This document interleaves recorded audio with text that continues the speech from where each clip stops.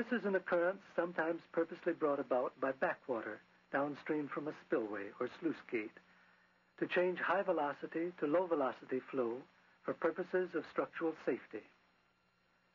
Since the flow is essentially uniform before and after the breaking front, the relationship between the celerity and the change in depth can readily be evaluated through use of the simplified continuity and impulse momentum relationships for one-dimensional flow with this result.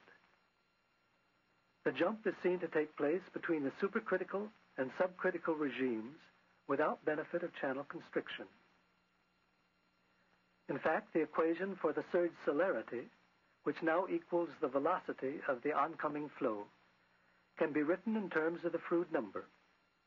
Evidently, F equals 1 when D2 equals D1. Through additional use of the work-energy relationship, it will be found that a considerable loss in total head must take place if the other two equations are to be satisfied. This results from the generation of turbulence at the breaking front, the energy of which is rapidly dissipated through viscous shear.